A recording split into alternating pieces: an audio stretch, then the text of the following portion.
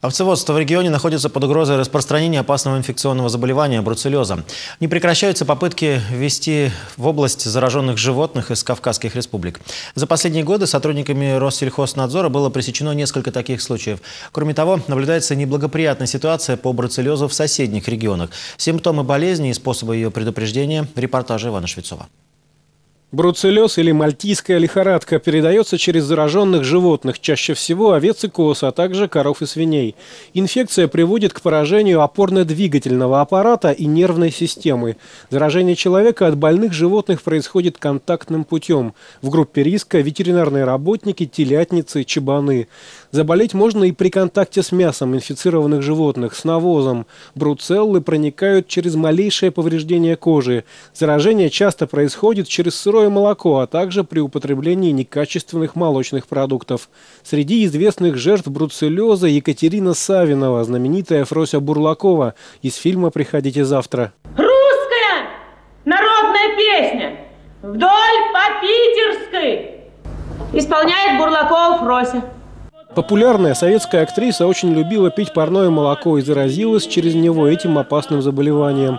Уже во время съемок фильма в 1962 году Савинова была инфицирована бруцеллезом, но тогда болезнь врачи установить не смогли. За 8 лет инфекция настолько поразила внутренние органы и нервную систему, что это привело к трагической гибели актрисы. У жителей Кировской области шансы заразиться бруцеллезом невелики, но они есть, особенно у тех, кто регулярно употребляет в пищу баранину.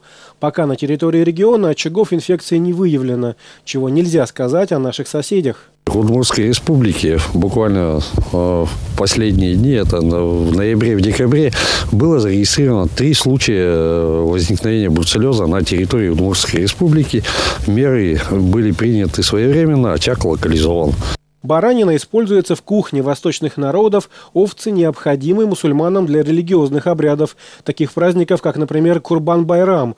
На праздник жертвоприношения осенью принято закалывать животных и делиться угощением с ближними. Эльман Валиев два года назад купил небольшое стадо, которое за это время значительно увеличилось. Животных он держит в основном для себя. В год режет не более 5-6 голов, в том числе и по праздникам. Прежде чем купить, мы этих э, овец взяли кровь обследовали, э, привезли их, э, э, на карантин поставили. Ветеринарная служба районная, то, что необходимо было, какие мероприятия провести, они полностью все сделали.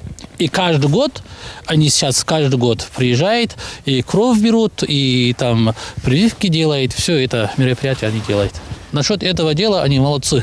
Отметим, что от бруцеллеза не может себя застраховать никто. Болезнь распространена по всему земному шару. Но благодаря достижениям современной медицины и особенно антибиотикам, бруцеллез хорошо поддается лечению. Главное, чтобы врачи вовремя поставили точный диагноз. Профилактика же этого опасного заболевания проста. Кипячение молока и тщательное соблюдение санитарных норм, а также неуклонное выполнение всех требований ветеринарного надзора. Иван Швецов, Владимир Подлевских, Вести, Кировская область, Куменский район.